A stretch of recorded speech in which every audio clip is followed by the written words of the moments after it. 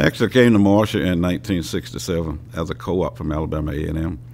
Um, I really hadn't thought about coming to NASA, but I kind of got bored with college for a semester and decided to go down to the uh, co-op office, and they had this position available at Marshall, and I applied for it and, and got it.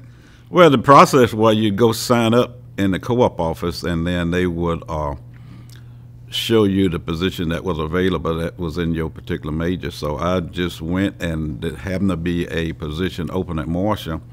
And the reason I liked that position was because I could stay on at school and, in the dormitories and, and come out to Marshall every day versus having to move.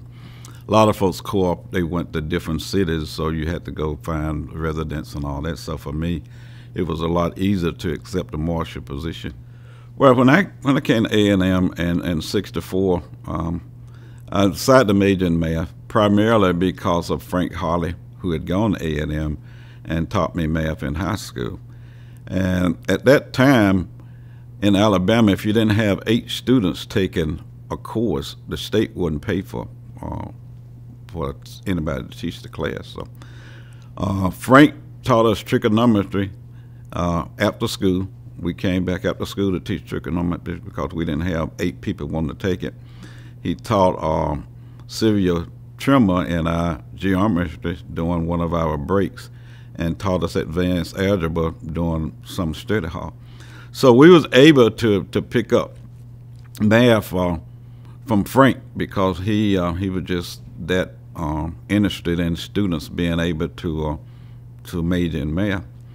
Uh, when I came to A&M, my algebra class was the same algebra book that I had used in high school. I guess that's the only book Frank had, so he taught us out of that. So, so that one thing people thought I was really smart, but they didn't know I had already taken the course once before, so that worked out real good. But Howard Foster came to A&M about that same time, and he started the physics program now.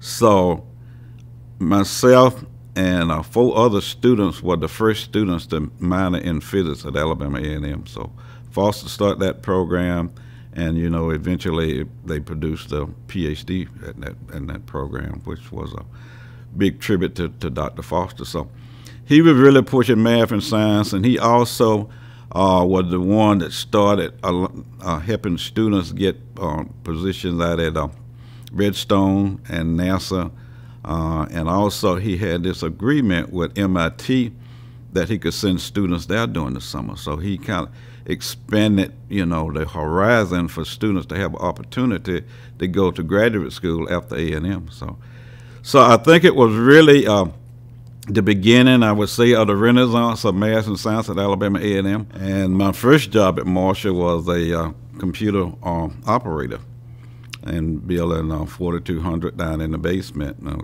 operated a control data 1600 computer. Well, my, my first day, as I always say, it was kind of exciting and apprehensive at the same time because I had always been in a total black environment. You know, I had, had went to all black high school and A&M was predominantly black. So when I came to NASA, that was my first time being uh, kind of integrated into the uh, majority organization.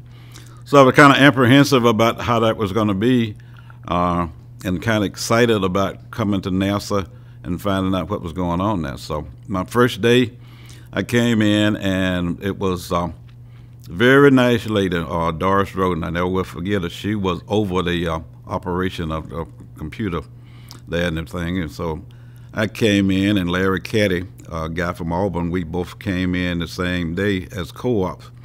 And she said, you boys don't have to be afraid. I can teach you how to operate a computer.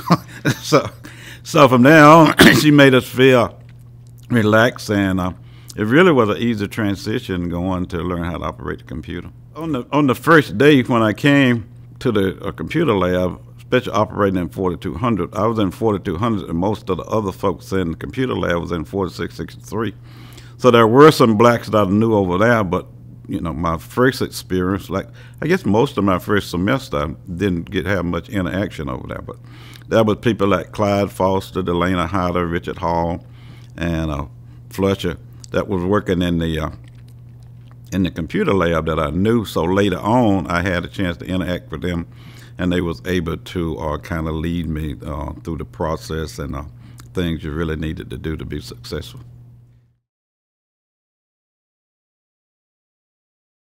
Didn't notice it a whole lot, but you know, at that time, I, I think it was. Uh, I didn't notice the culture had changed. Uh, you know, women wasn't allowed to wear pants back in that time frame. A lot of people don't remember that, but uh, I think it was like 60, 68, 60 something when they first said women could wear pants to work. So, so that was a big change.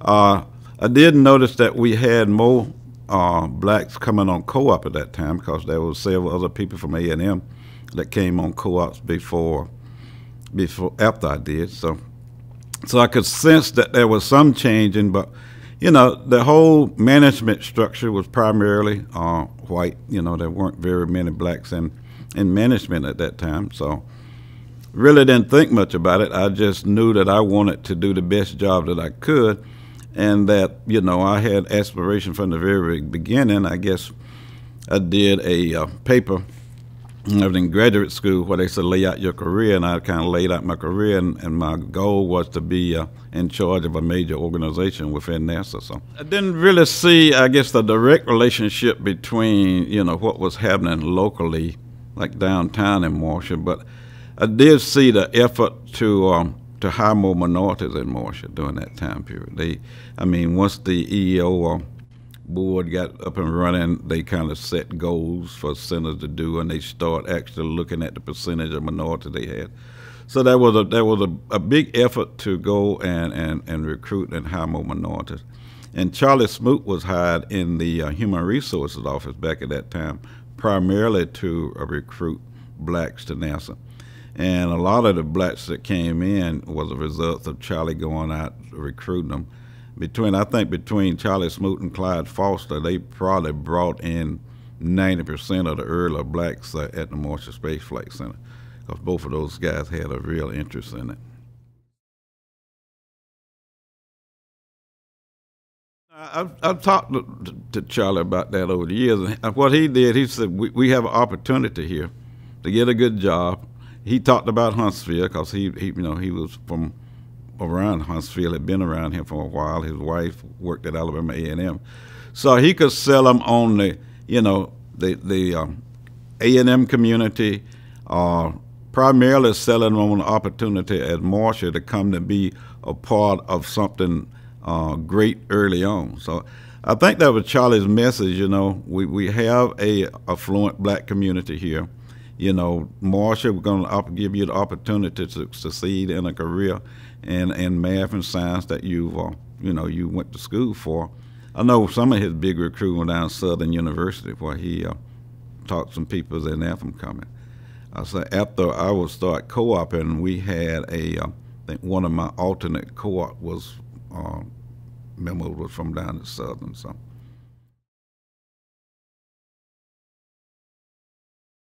You know, if I thought there was an issue, I went and talked to people. You know, I, think we talked about before that there was this one guy that people kind of said that he was prejudiced and all this. So I went to his office and sat down and talked to him, and and he said, "Well, I'm not prejudiced, and I will help you learn as much as I can until I think you're ready to take over my job, and then I'm not telling you anything." One of the things that I always remembered, you know, the higher you go in the organization, the more people are looking at you. So you have a bigger responsibility to carry yourself in a certain way. So when I came out here, I think the highest black was a GS-13, and that was Clyde Foster and and uh, you know Heidi and those guys over in Comp Lab. So I think that was the that was the highest highest grade we had out here. And uh, later on, I think you know after the EO office got started, you know Clyde got promoted to a 14 uh, when he came to the EO office and and then eventually uh, some of the other guys got promoted to a uh, to 14 people like Richard Hall and, and Fletcher and those guys and Lloyd Gardner he was in in pay in mm, program development I think he and uh, Dave McGlacklery so well yeah Clyde was you know, he was one of those guys, and, and one of his mantras was Clyde always tried to help other people. So although he was, um, you know, very smart and very successful himself, he always looked out for trying to help other people. You know, being interested in uh, in computer science and wanting to give people the opportunity, uh, they gave him a leave of absence from NASA to go work at A&M full time, and he started a computer program. And turned out that was the first computer science uh, program in the state of Alabama at Alabama A&M.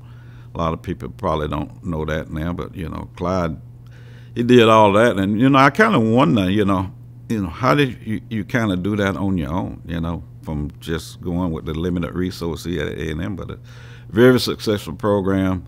I mean, still a successful program today, and students are able to contribute from his efforts. So one of the things in the comp lab or in programming, you know, you have to have some certain certifications to do certain kind of program.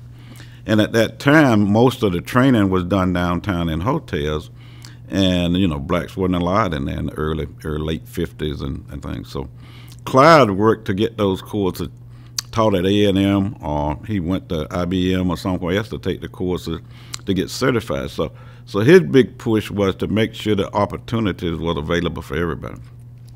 And when I first came on full time in August of uh, '68 kind of pulled me aside and say, "I know you. I know you're smart. Say if you um, if you keep your nose clean and, and do a good job, you can go far in this organization. You know." So I, I kind of wondered what to keep your nose clean was, but eventually I found that that was you know not not get into trouble, do your work, and and and things would work out for you. So so he was good in that perspective, and you know later on, about seventy three or sometime they started. Um, agency-wide equal opportunity board, and uh, Clyde had was made deputy uh, EO officer here at Marshall under Art Sanderson.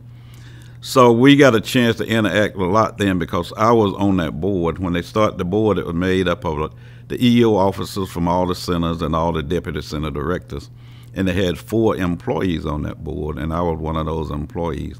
We had a lady from Goddard, black lady, and a white lady from Ames, and then we had an Hispanic gentleman from down at, at uh, Kennedy Space Center. So the four of us was on there, I guess, to kind of give the employees um, a voice, but they didn't realize that we had big voices, so we uh, kind of rocked the boat on a lot of stuff as a part of that committee, and eventually uh, they decided they didn't need us, so that was okay.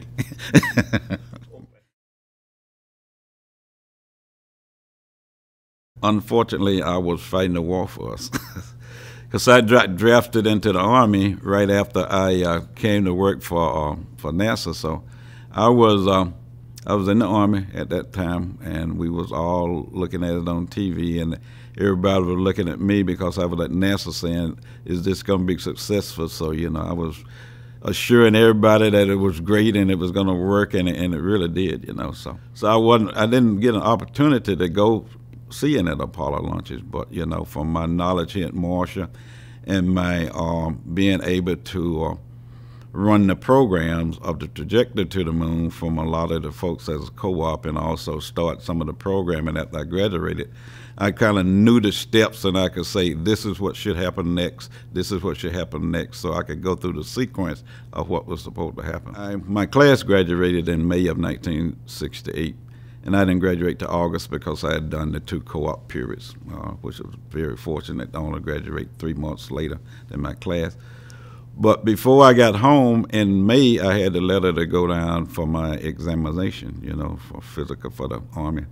So I came back by the draft board and told them I wasn't graduating to August, so, you know, could they see fit to not draft me before August, and they assured me that they would but they didn't give me much time after that. and in September, I got the letter to say you got have to go in October 6th. So, but I went to Fort Benning, did basic training at Fort Benning, and then I got assigned to Fort Lewis, Washington. Uh, and I was as a computer operator, so my experience as a computer operator gave me a good MOS in the Army, so I didn't have to go out to infantry and all of those good things. So. So at Fort Lewis working in the overseas replacement office where we actually process people through that was going to Korea and Vietnam, primarily to Vietnam. So we got our list every day of everybody that was coming through. So I'd go down the list to see if there were people on there that I knew. And a lot of my friends came through. Some of the people that I was in basic training came through. So I'd go down and have a drink with them and say, I hope I have one with you when you come back. Fortunately, when we got down to about 17 months or so in that particular unit, people usually got sent to Vietnam. I got down to about 14 months and I got assigned to the Pentagon. So people were saying, Who do you know? so I don't know anybody, you know. But they needed computer operators. So that, that computer operation experience really benefited me throughout being in the Army. So got assigned to the Pentagon and for multi, multi services unit. You know, we had Air Force, Navy, and all of those guys in. And we actually worked in the uh, up at Fort Ritchie where they have the underground Pentagon up there in the, in the there. So, so that was very fortunate. Didn't go to Vietnam, you know. Watched a lot of folks go and a lot of them come back.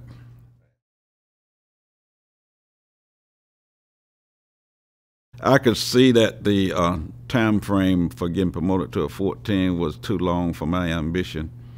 So that's when I decided to apply for jobs elsewhere. So I applied for a job at headquarters and applied for a job at Kennedy. And within a one week period, I got I got two job offers at headquarters and a one job office down at Kennedy. So I decided to take the one down at Kennedy because I kind of decided that you could go to headquarters almost anytime. So I went to Kennedy as a 14 and uh, had a very good career there. I ended up as uh, deputy center director down at Kennedy and left there with the headquarters as uh, associate administrator for institution and management, which is now the mission support office up at headquarters.